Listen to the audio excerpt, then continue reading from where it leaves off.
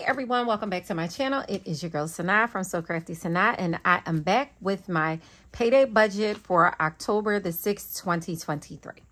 If you want to see how I budget my paychecks using my payday budget book, please stay tuned.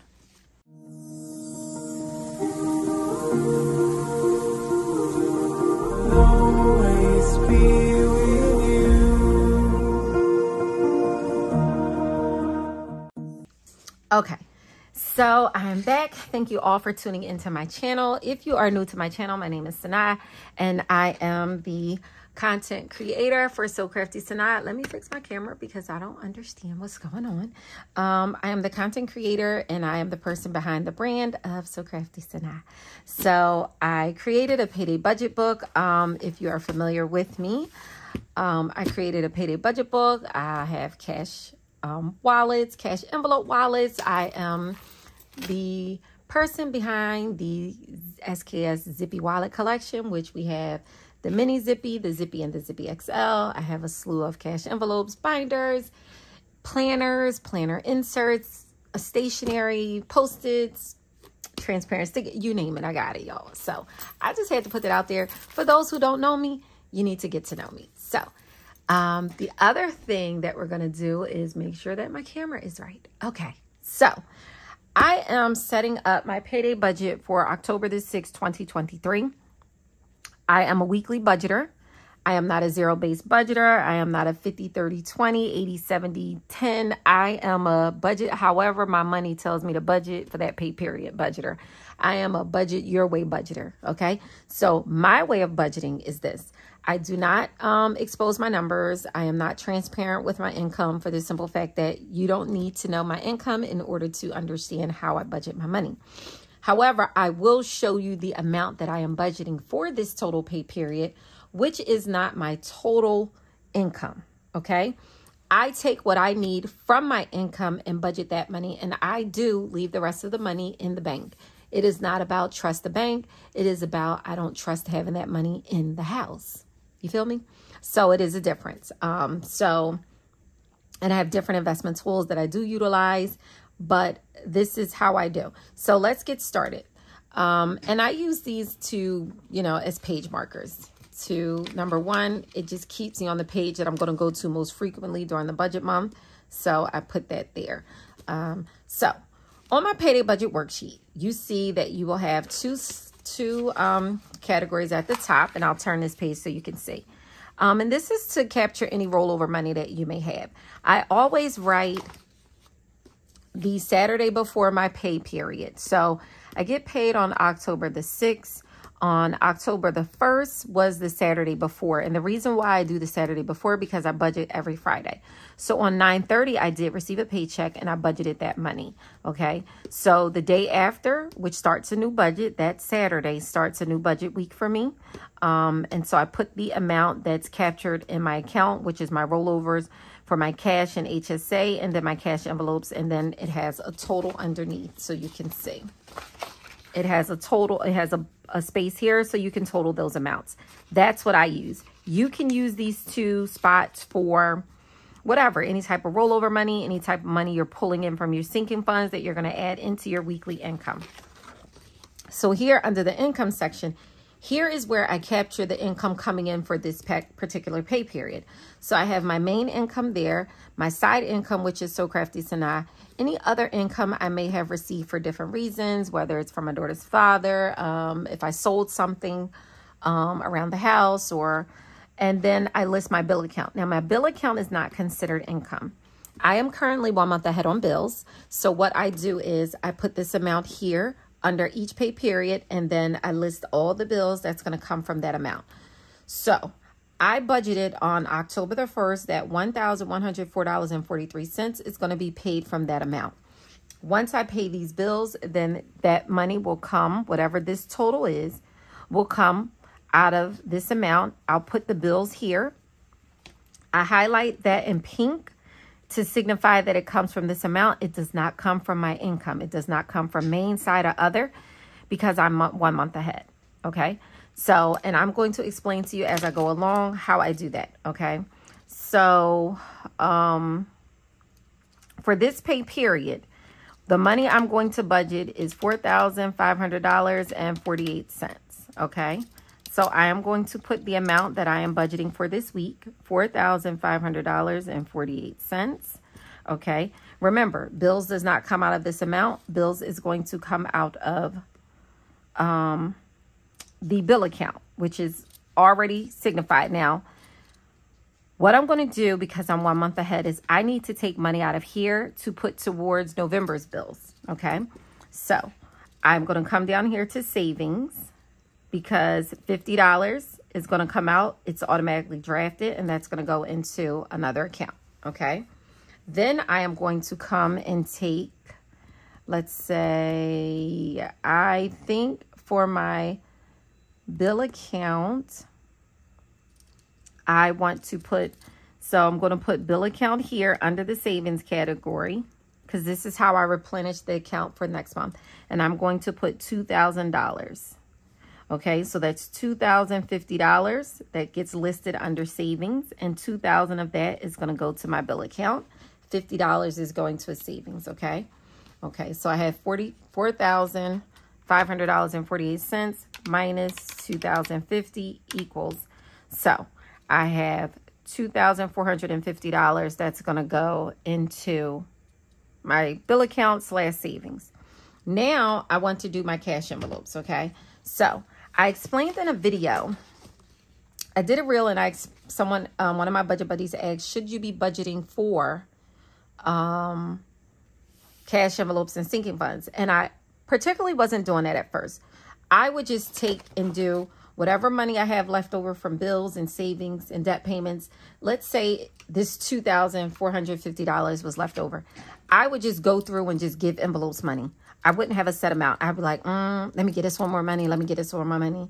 And if I had a balance left over, I would go back and give more money to my envelopes. I don't want to do that now. What I'm going to do is now I know there are certain sinking funds and cash envelopes that I want to give a certain amount to. So, for instance, I know that during the month of October, I only want to budget $300 for me money. So, because I am paid weekly, now I'm going to give $75 to my me money. I know that dining out, I want to give $160. So, for this pay period, I am only going to give dining out $40. Okay. Car maintenance is budgeted at $40. I usually do $10 a week, so I'm going to give $10 here. Gas is I want to contribute. I'm budgeting to spend 160 in gas this month. Gas is a sinking fund, so I keep a balance. So I am going to give gas $35 out of this pay period. I am budgeting for $800 for the month for food. So that's 200 a week. I am going to give food 200 for this pay period. Household items, I'm budgeting for $80 for the month to spend on household items. So I am going to give 25 out of this pay period. Miscellaneous, I am budgeting for 60 so I am going to give $10 this pay period. And for the month for Sadaka, which means charity giving, I'm going to do $40. So I'm going to do $10. Okay. So that's how much I am going to allot for this pay period into my wallet cash variable spending. Now for my sinking funds. These sinking funds to me, it's what's a priority. So I want to make sure that I contribute a certain amount to these envelopes. And then if I have extra money, I'll just divvy it up to my other envelopes. But particularly for the month of October, I want to give $250 to my self-care selfie envelope, selfie Sanaa. So I am going to give $50 to this envelope. Okay. And for luxury, I want to budget for $40 for the month. So I am going to jumpstart that and I am going to put 25 in luxury. Planner stuff, I am not going to contribute anything to. Payback, I am not giving anything to retirement and dry cleaning. Okay. So now to my, I am budgeting to give $50, $100 for the month for home maintenance. I am going to give $50 for home maintenance. House cash, um, I didn't put a budget for house cash, but I do want to give house cash $15. And house cash is any purpose, all purpose, no purpose money. Um, a goal is to have $250 and we can use that for whatever. I don't care what it is. That money is just house money. $250. When I reach $250, I'll stop contributing to that envelope. So house clean, um, and I did not budget for house clean. However, because I do have money to divvy up. I want to give that envelope something, my sinking fund. So house clean is going to get $10. Okay. Now household, I did set a budget for household. Household is a sinking fund separate from my wallet um, because I like to build this up. So $100 I'm budgeting for the month. So for household, I am going to give $20. Okay. And let's see. So I did, okay. And I'm not contributing to um, car maintenance uh, from this pay period. So I'm not going to do that. Oh, and let me put, I want to give something to buffer. I'm sorry. That's not on there. Okay, so I'm not going to contribute to car maintenance, medical savings, or subscriptions um, in this binder. So the next thing I want to contribute money to is dress game. This is the kids' clothes. So I am budgeting to put $200 this month into their envelope. So I am just going to give $25 for this pay period. Okay. And let's see. I don't have debt payoff on here, but I should. So, but for debt payoff, I do want to put $100 in debt payoff and buffer. Buffer, I, I budgeted to put $120. So I am going to put $20 in buffer. Okay, so let's see. And that's what I budgeted based on including these in my monthly bill tracker budget. Okay, so let's see. So that is 75 plus 40 plus 10 plus 35 plus 200 plus 25 plus 20 plus 50 plus 25 plus 50 plus 15 plus 30 plus 25 plus 100 plus 20 equals $720. Okay, so $720 is going into $720 is going to be divvied up into my envelope. So what I usually do is I like to separate. So 75 plus 40 plus 10 plus 35 plus 200 plus 25 plus 20 equals. So that's $405 I'm putting into my wallet. Okay. That's $75 that's going into my self-care binder. So that's 50, 60, 70, 80, 90. So that's $95 going into my Prue binder. And then these envelopes here, that is 145. So I'm just going to put that there.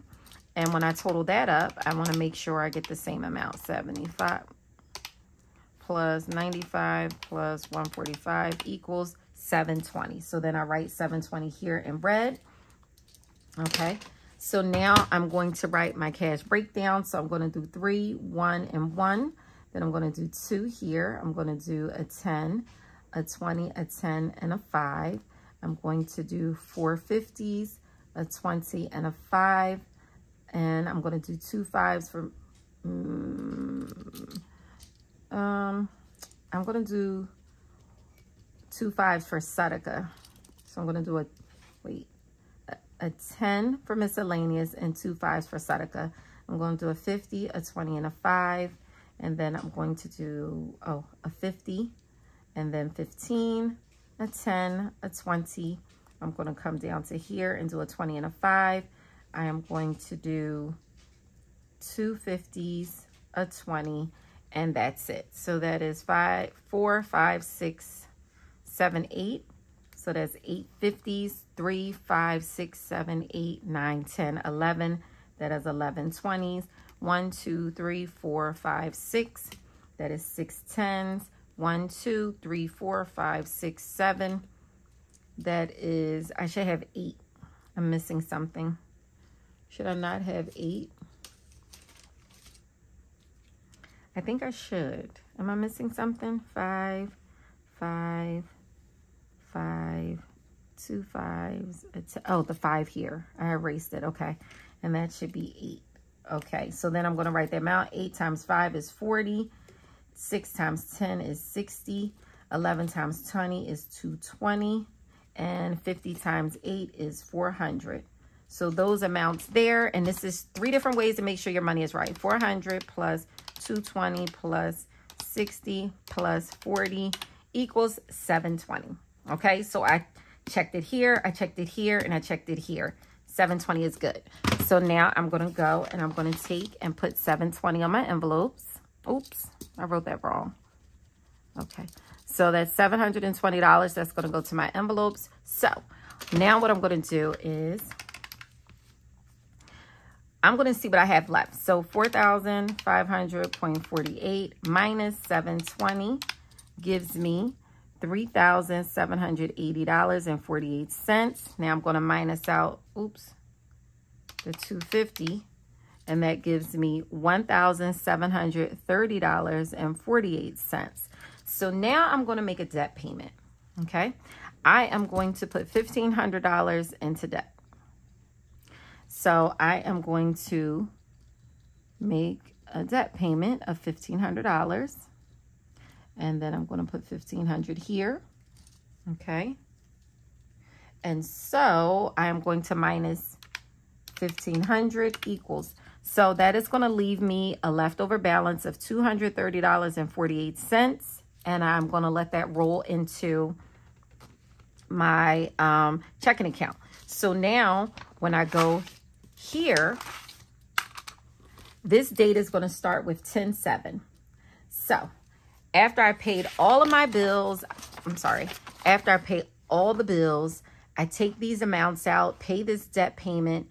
This amount is going to go into that balance. Whatever the balance is, is going to be the balance I'm bringing in for 10-7. So I'm going to write cash and HSA.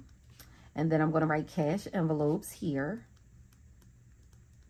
I'm going to capture these two amounts, put the total, and then my income, side, other, and then I am going to put um, bill account. And I am going to capture my bill account balance. After all bills are paid, I'm going to put that balance here. Okay. So that is how I set up a weekly budget. Um, now I'm going to stuff this money. So if you want to see how I stuff that, please stay tuned for my next video. Bye.